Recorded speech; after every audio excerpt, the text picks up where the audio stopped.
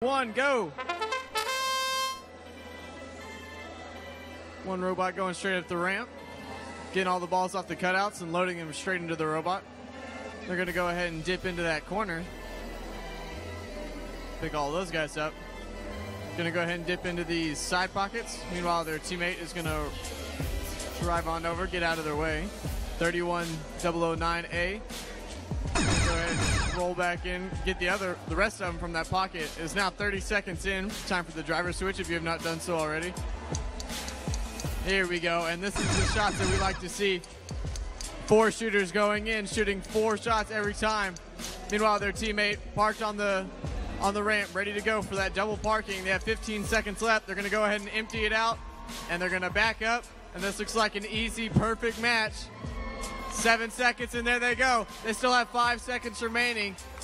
Round of applause for these guys bringing us a nice, perfect game right after lunch. And that ends match number 223.